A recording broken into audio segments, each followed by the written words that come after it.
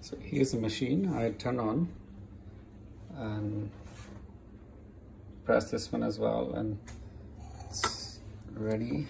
I see if the proper works. It doesn't. So some steam is coming out. It doesn't do anything. And this thing, the plate starts warming up, but it doesn't steam. Nothing comes out.